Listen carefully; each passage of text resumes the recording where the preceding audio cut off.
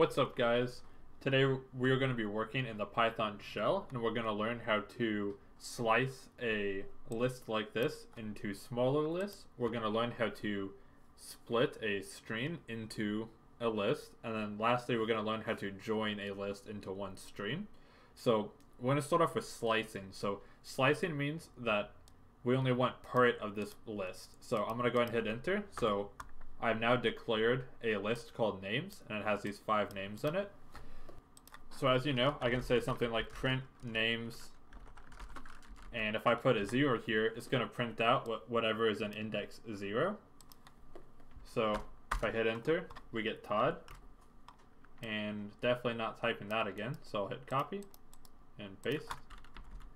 So again, I can put two, and you'll see we'll get Bill. So here's here's the new thing. So instead of just putting a number here, I can put a colon. So let's actually switch this to a 1 and hit enter. And you see we get Jake, Bill, Sally, and Anna. So what this means, what this little colon is telling Python is, I want you to start at index 1 and go to the end. Give me the rest of the list.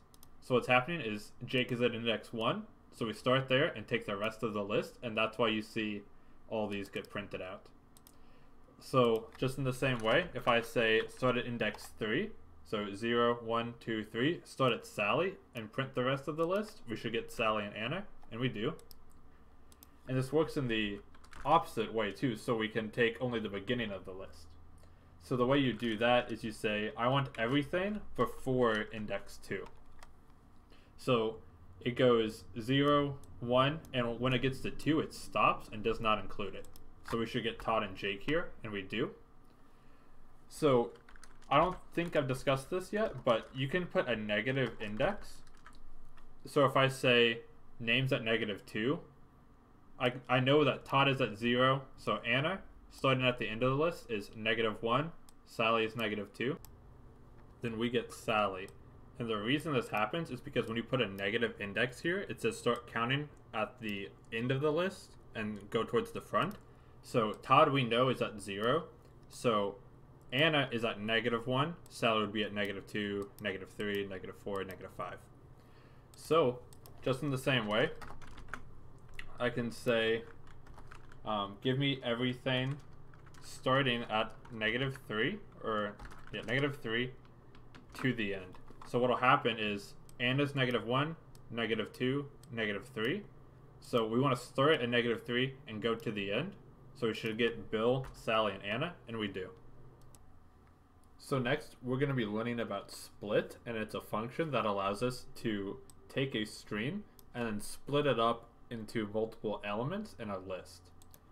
So this is just a string I called SSN or social security number, and here is just, you know, a fake social. So our goal is going to be to have this first group of numbers be in a list at index 0, this group at index 1, and this group at index 2.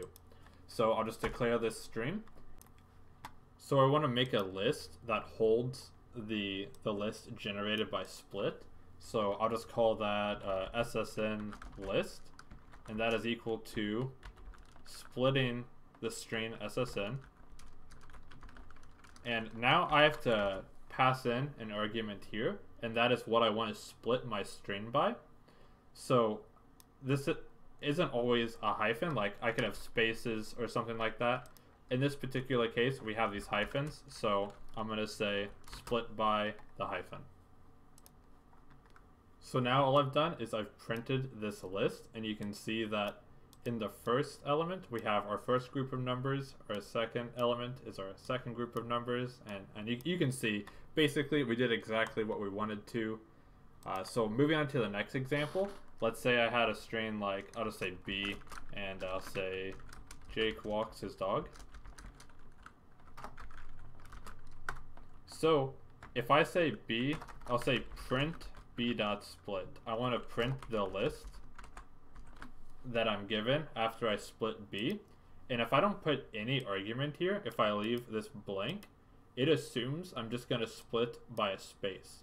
That's just the default that whoever wrote this decided that would just be the default. So if we print this, we can see that you know, it did exactly the same thing. Every time it saw what we were splitting by, it just dropped that chunk of the string into its own element. And lastly, for join, I've just made this list, and it just has the strings Jake walks his dog. So now what we're going to do is we're going to take this list and put it back into one string. So the syntax for this, the, the words we use to tell Python to do this is kind of weird, um, but stick with me, it'll make sense in a second. So what I'm going to do is I'm going to start by making a string that is an empty space, and I'm going to say dot join, and then I tell it the list I want to join. Who is texting me? That's not important. Um, so what happens, yeah, let's just print this out. We'll see what it looks like, and then we'll talk about it. So it prints Jake walks his dog. So what's happening is Python sees this space and then it joins the list by placing this character in between all of these. So we put Jake and we see that here, then we put a space, then we put whatever's in the next element, then we put a space and so on. So if we wanted to do something weird, we could just, you know, we could have a comma in between each one of them. And you can see there's no spaces this time instead it's just commas. So that's how you take a list and you join it back into one string. So that's it. Now you know how to slice a list into a smaller list. You know how to split a string into a list and you know how to take a list and join it back together into one string. So i hope you learned something. Thanks for watching guys